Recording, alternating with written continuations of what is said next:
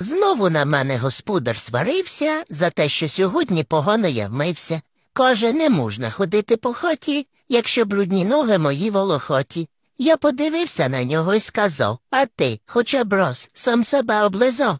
Ти хоч уявляєш, яка це робота, коли брудна шерсть тобі лізе до рота. Тож перш ніж повчати берешся кота, подумай, що доля його непроста. Почухай за вушком, смачненьке щось дай, на лапи брудненькі його не зважай.